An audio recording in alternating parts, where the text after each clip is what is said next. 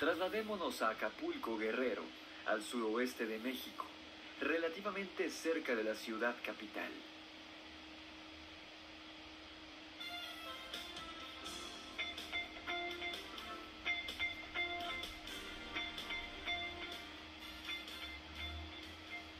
Este estado es uno de los preferidos por los turistas para vacacionar,